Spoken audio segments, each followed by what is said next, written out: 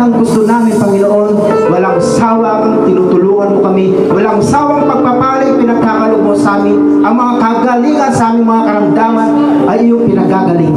O Panginoon, nag-iisa ka nga ng Panginoon. Wala kang katumbas. Wala kang katumbas o aming Panginoon.